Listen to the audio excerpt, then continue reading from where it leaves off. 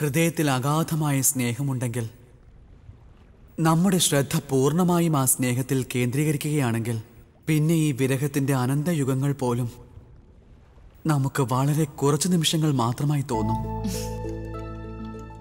പക്ഷെ നാരായണ അങ്ങനെ ചഞ്ചല എന്ന പേരിലല്ലേ സംബോധന ചെയ്യാറുള്ളത്? അപ്പോൾ ഈ ചഞ്ചല ചിന്തയ്ക്ക് എങ്ങനെ ശ്രദ്ധ കേന്ദ്രീകരിക്കാനാകും? നീ ശ്രദ്ധ കേന്ദ്രീകരിച്ച് മതിയാവുകയുള്ളൂ ചഞ്ചലെ.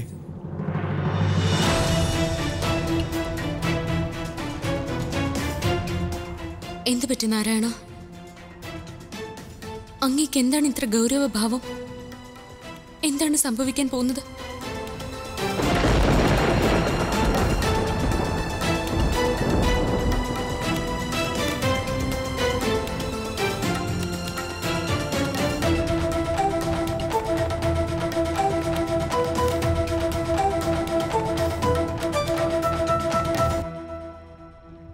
ഈ പ്രപഞ്ചത്തെ.